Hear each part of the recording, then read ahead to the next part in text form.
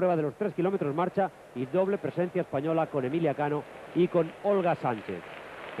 La prueba con 10 atletas, no, 12 atletas es el, el número definitivo de marchadoras.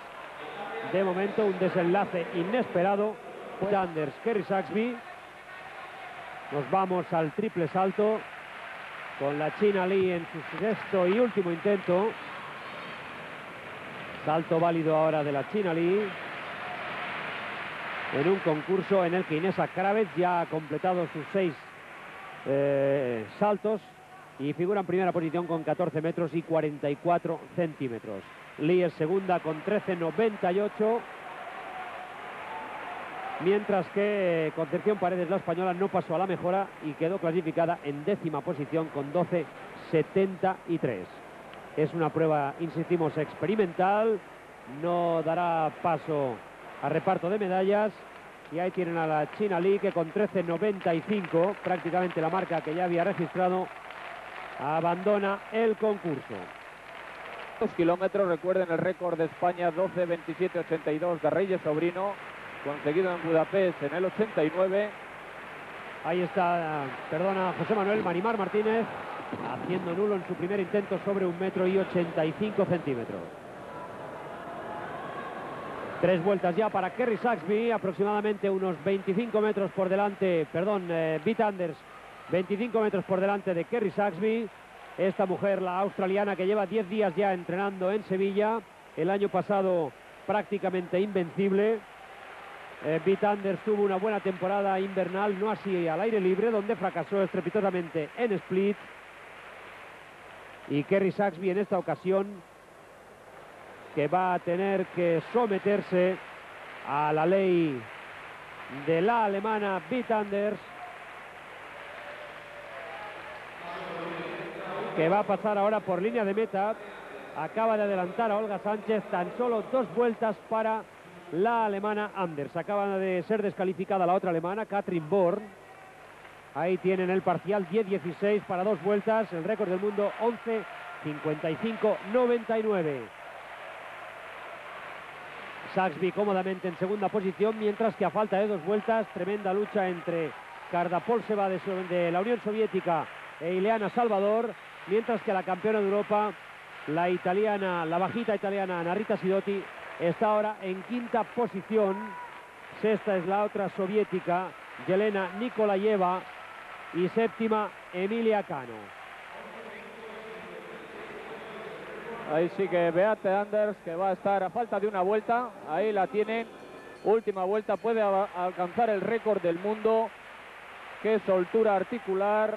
Está con un ritmo realmente impresionante. Es que además es una marchadora realmente tremenda, puesto que no solo trabaja con las piernas, sino que vean qué ritmo, qué cadencia de hombros y de brazos tan espectacular y tan eficaz. Así es. Es un atleta que acompasa todos los músculos del cuerpo perfectamente. El eje central de todas las acciones principalmente son el tronco. Prestemos la atención puesto que está a punto de caer el primer récord del mundo en estos campeonatos de Sevilla.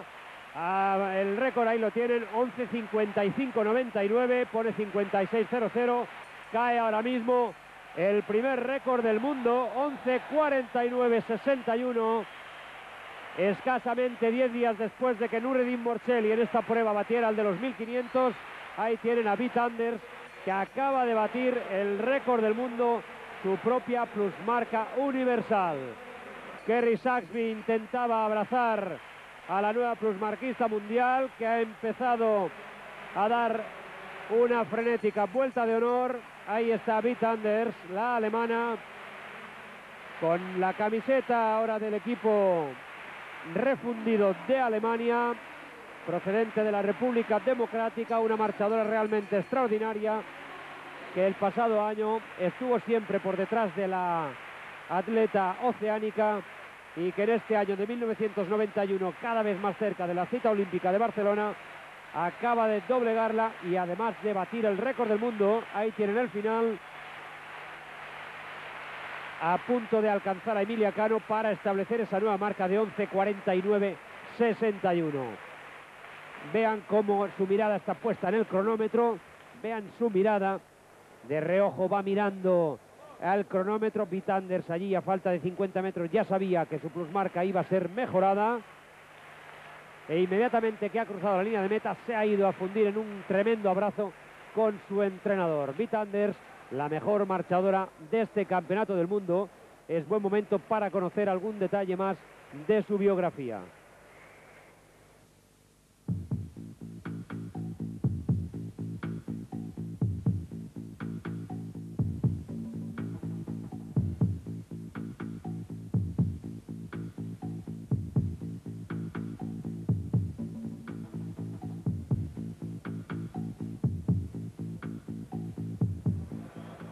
Siguiendo la carrera y siguiendo a sus pupilas, pero me imagino que sin perder de vista a la alemana, que es impresionante, ¿no? Sí, sí, es un ritmo impresionante, es una atleta que prepara especialmente esta prueba de 3 kilómetros y ya se ha visto, ¿no? Hace poco ya hizo el récord del mundo y ahora la ha vuelto a batir. Realmente yo lo único que puedo decir es que es especialista en, esta prueba de 3 kilómetros. Realmente, eh, bueno, la marcha ha hecho levantarse a la gente de los asientos, ¿eh? bueno, yo pienso que no solo ahora, en el Campeonato de España Miguel Ángel Prieto también levantó a, la gente de los asientos. Creo que la marcha es una prueba espectacular, como pueden ser las demás, incluso más porque aquí tenemos un hombre vestido de negro que se llama juez árbitro.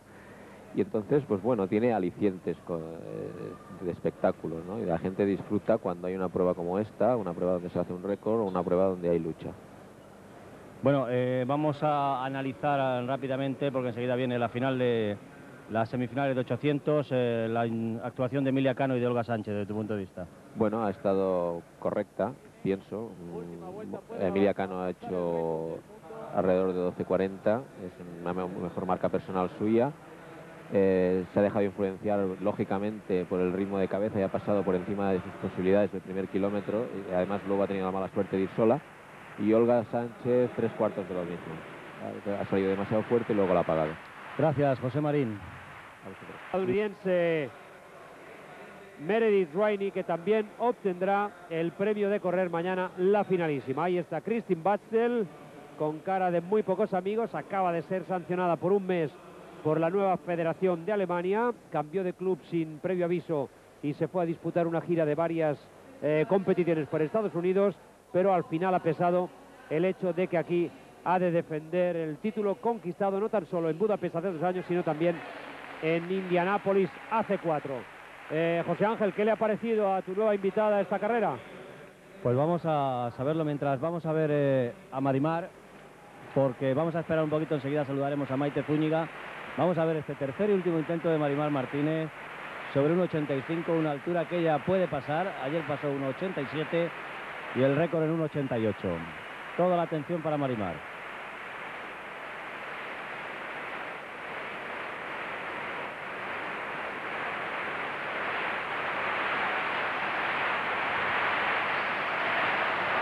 Y pasó, ahora sí, en la tercera tentativa, Marimar Martínez ha pasado esa altura que decíamos que está a su alcance.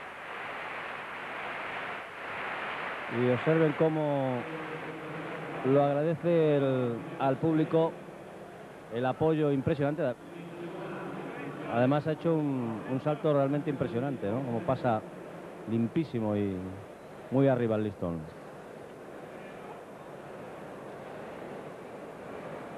Marimar Martínez, por lo tanto, continúa la competición en la final de salto de altura femenina con el listón en 1.85. Se ve en su concurso 1.75, 1.80, 1.85